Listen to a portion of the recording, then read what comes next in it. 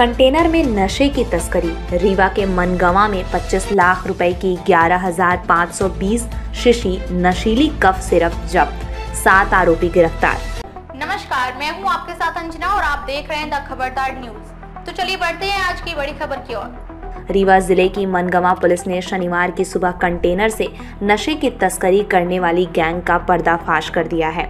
बताया गया कि पहली दबिश मुखबिर की सूचना पर मनगवा के कुइया नहर के पास दी गई। वहाँ नशीली कप सिरप की खेप कंटेनर से उतारकर ट्रैक्टर ट्रॉली में लोड हो रही थी। तभी आईजी द्वारा गठित पुलिस की विशेष टीम ने घेराबंदी कर छह बदमाशों को पकड़ लिया है। मौके से एक कंटेनर, एक ट्रैक्टर और एक बोलेरो, चौसठ पेटी से सात हज़ार छह सौ अस्सी शीशी नशीली कप सिरप निकली है। इसी तरह दूसरी दबिश मनगवा क्षेत्र के मनिकवार चौकी अंतर्गत तमहा गाँव में की गई है।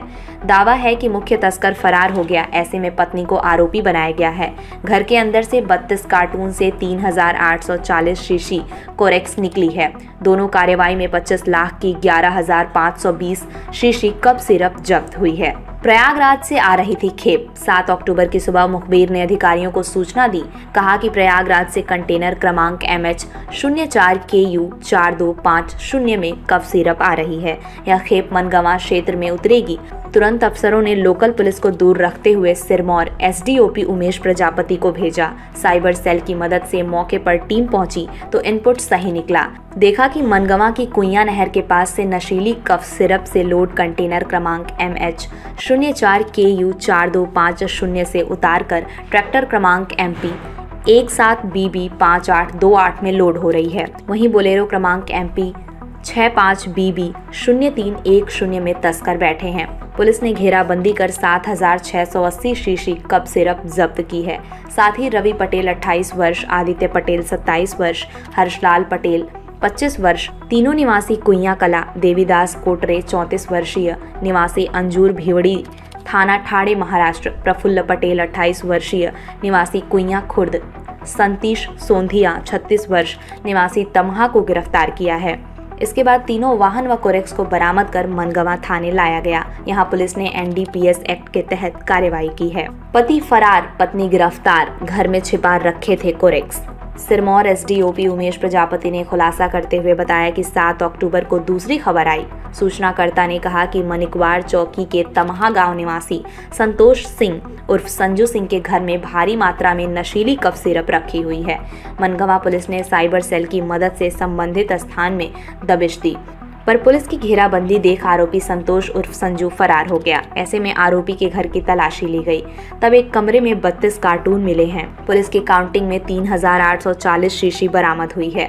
जाँच में पता चला कि नशे के कारोबार में आरोपी की पत्नी प्रिया सिंह पति संतोष 36 वर्ष निवासी तमहा लिप्त है। वह पति की गैर मौजूदगी में चोरी छिपे नशा बेचती थी। तब मनिकवार पुलिस ने महिला को गिरफ़्तार किया है।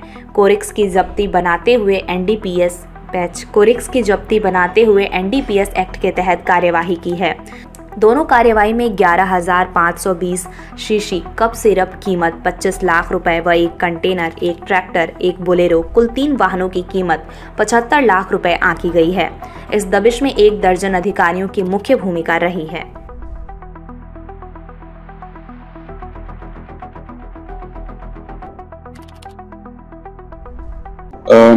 कल दो बड़ी कार्रवाइयाँ हुई हैं। दोनों थाना मनगवा क्षेत्र की हैं।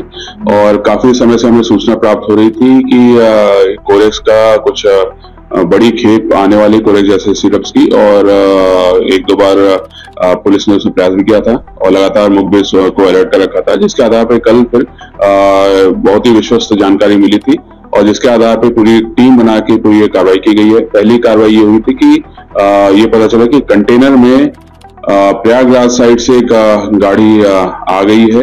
और जिसमें ब्यूटी प्रोडक्ट्स के कार्टन के बीच में कोरेक्स का भी वो रखे हुए हैं। और वो वहाँ से फिर ट्रैक्टर में सप्लाई हो रही है और उसके बोलेरो में जो भी है लोग उनके द्वारा भी ये माल लिया जा रहा है। तो जिसके आधार पर वहाँ टीम बना के जब रेड किया गया तो यहाँ पे हमको छह आरोपी मिले और करीब चौसठ पेटी कोरेक्स की हमको वहाँ पे आ, मिली। तो इसके आधार पर वहाँ पे छह आरोपी चौसठ पेटी केवल्स और जो कंटेनर है जो ट्रैक्टर है और एक बोलेरो वहाँ से जब्त की गई थाना मंदवा थाना क्षेत्र की।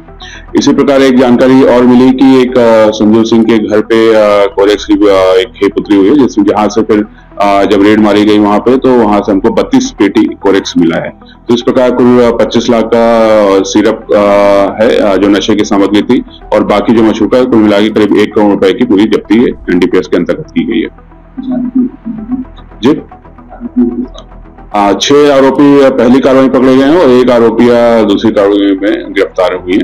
और बाकी अभी दो अन्य आरोपी जो नामजद हैं बाकी पीआर लिया जाएगा जिनकी आवश्यकता है और उसके आधार पर उनके पूछताछ की जाएगी और जो भी इस पूरे चेन में इन्वॉल्व होंगे उनके खिलाफ कार्रवाई की जाएगी। देखा जाए तो निश्चित रूप से क्योंकि ये एक बड़ी खेप थी। आगे इसका चेन भी कहीं ना कहीं होगा जो सप्लाई किए होंगे या यहाँ जहाँ जहाँ इसमें डिमांड हुई होगी। तो उसके आधार पर भी चिन्हित किया जा रहा है लोगों को। और जैसे ही लोग चिन्हित किए जाएँगे उनके भी इसमें सम्मिलित करके उनके खिलाफ भी इसमें आरोपी बना के उनको भी गिरफ़्तार करके आगे कार्रवाई की जाएगी इसमें। एक अपील है आ, मेरी आ, आ, सभी अपने रीवा ज़िले के नागरिकों को खासकर युवा वर्ग से इस प्रकार के नशे से बचें, चाहे वो ये सिरप का नशा हो, चाहे वो टैबलेट्स का नशा हो, और किसी प्रकार के नशे से बचें ये आपके जीवन को खराब कर रहा है।